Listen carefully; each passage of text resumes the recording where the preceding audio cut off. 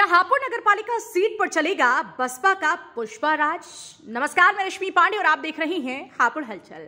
अपने क्षेत्र से जुड़ी हर छोटी बड़ी खबर को सबसे पहले जानने के लिए सब्सक्राइब कर लीजिए आपका अपना चैनल हापुड़ हलचल। हापुड़ को जिला बने बहुत ज़्यादा वक्त नहीं हुआ। मायावती की सरकार में यह जिला अस्तित्व में आया था। पश्चिमी यूपी का हापुड़ जिला 2011 में अस्तित्व में आया था। तत्कालीन मुख्यमंत्री मायावती ने सितंबर 2011 में पंचशील नगर के नाम से यह नया जिला बनाया।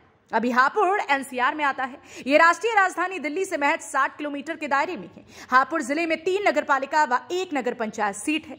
बात करें यदि प्रत्याशियों की तो भाजपा ने इस बार नगर पालिका चेयरमैन पद पर सोमती केन को उम्मीदवार बनाया है। तो वहीं गठबंधन ने पूजा व कांग्रेस ने पूर्व विधायक व चेयरमैन धर्मपाल सिंह की पुत्री मानवी सिंह को चुनावी मैदान में उतारा है। वहीं बसपा से 2017 में विधानसभा चुनाव लड़े श्रीपाल सिंह की पत्नी पुष्पा देवी को चेयरमैन पद का उम्मीदवार बनाया गया। फ़िलहाल सभी प्रत्याशी जनता को साधने में जुटे हुए हैं, लगातार प्रत्याशी जनसंपर्क कर रही हैं। पुष्पा देवी लगातार लोगों के बीच पहुंचकर अपने लिए प्रचार प्रसार कर रही हैं। उत्तर प्रदेश के हापुड़ में दूसरे चरण के तहत 11 मई को नगर निकाय चुनाव कराए जाएँगे। हापुड़ नगर पालिका सीट पर इस बार कुल दो लाख चौबीस हज़ार नौ सौ इकसठ मतदाता अपने अधिकार का प्रयोग करेंगे। तेरह मई को नतीजे घोषित किए जाएँगे। हापुड़ नगर पालिका सीट पर मुस्लिम व दलित मतदाता अधिक हैं।